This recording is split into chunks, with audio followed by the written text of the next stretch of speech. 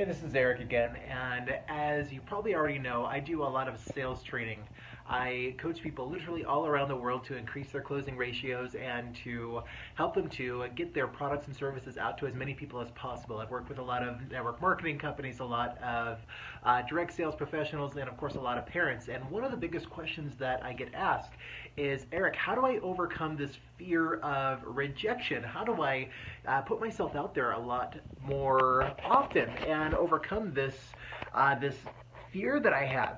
And so today's video is going to give you three tips that you can use in order to uh, put yourself out there a lot more.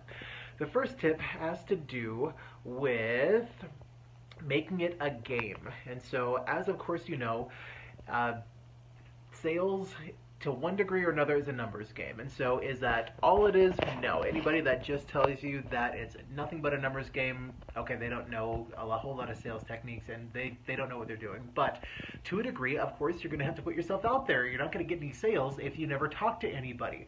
And a lot of times people are like, oh, well, I, I really want to put myself out there, but boy, I just, anytime I hear a no, I just, I, I crumble. And so what you want to do is you want to begin to link no's with high amounts of pleasure.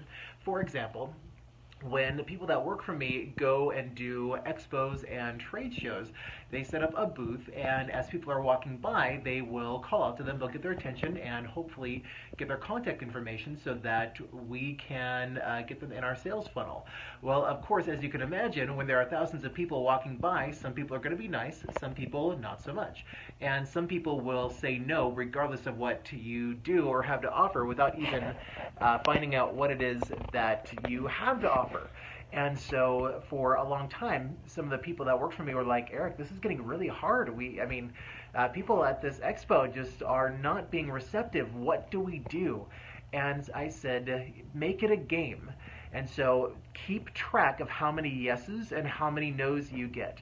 And once you reach a certain number of no's, let's say it was 12 no's in two hours or whatever it is, set, give yourself a reward. And so whether that's a little piece of chocolate or going and getting a massage or whatever it is, this way, every single time you get rejected or hear a no, it actually gets you one step closer to that reward. And so what happens is every time you get a no, it's like, oh, I'm one step closer to this reward. It actually links getting hearing the word no with high amounts of pleasure. And of course, do the same thing with yes. You don't want to purposely try to you know get people to say no. I mean, the, the purpose is is to get as many people to say yes as possible, right? But that's one idea. And so, as I mentioned, uh, if you're someone that uh, has your own business and of course you are constantly reaching out to people, maybe you're going door to door, maybe you set up booths at a trade show, uh, maybe you do cold calls, whatever it is. Uh, give yourself a certain number every day, every week, whatever, of no's. And every time you get a no, mark it on a, a little spreadsheet or uh, keep track of it somehow. And once you reach a certain number of no's, give yourself some type of really awesome reward. Again, that will create that uh, pleasure within your mind that will link the uh, receiving a no with high amounts of pleasure, and it'll make it a lot easier.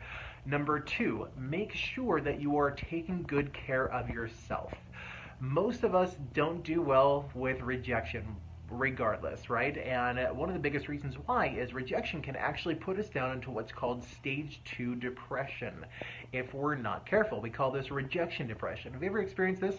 Um, a lot of this is one of the reasons why so many people fear uh, reaching out to people because they're like, oh gosh, uh, if I if I'm rejected, then I'm going to feel depressed. You know, if I ask that girl for a date and she tells me no, then oh gosh, that's going to feel terrible. If I ask my boss for a raise and he says no, that's going to put me down in depression. And the way to combat that is by making sure you're taking good care of yourself.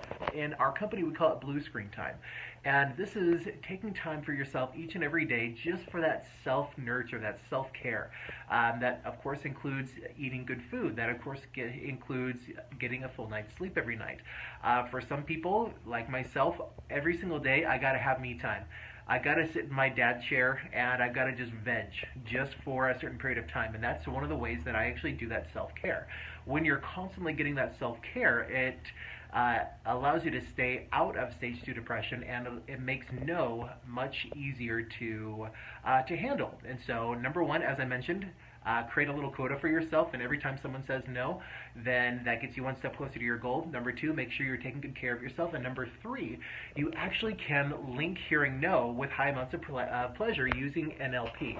My wife and I just returned from a quick trip to Yellowstone over the weekend, and she is currently working on writing her first book. I'm super proud of her. And she's working on an online program for mothers, which is going to help people all around the world. Holy smokes, I can't wait to see the type of effect that her new online program is going to have on people.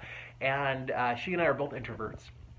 And she has a personality type where she is extremely sensitive to uh, hearing no. She is what we call a white personality, and so she uh, thrives by keeping the peace, by not stirring the pot. And obviously, as you put yourself out there, um, it can stir the pot. And regardless of how amazing you are, regardless of how awesome your product or service is, there's going to be people that don't like you. And especially as you begin to reach out to people on social media and with uh, Facebook ads and, and whatnot, uh, you're going to attract some trolls. And so, um, one of the things that we did while we were gone was we used NLP to literally break the pattern in her mind, which linked putting herself out there with fear and pain.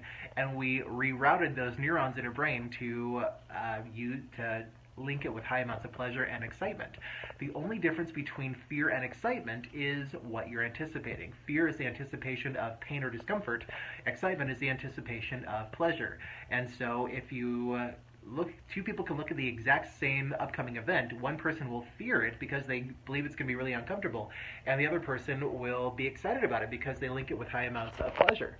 And what we did was we literally broke that pattern in our mind using NLP and we rewired it to link uh, putting yourself out there and even rejection, even getting Facebook trolls with high amounts of pleasure. And so if that's something that you feel would be super beneficial to you, just comment below and or actually send me an email. Uh, send an email to ERIC, which is of course my first name, Eric, at feelwelllivewell.com. One more time, that's ERIC at feelwelllivewell.com. Shoot me an email with subject heading uh, pain to pleasure and I can give you some information of where you can go in order to retrain your mind, in order to link putting yourself out there, talking to people, and yes, even getting no's with high amounts of pleasure. That way you do it a lot more. The more you put yourself out there, then usually the more yeses you're going to get. If you're seeing this on Facebook, just comment below or shoot me a private message and you can do the same thing.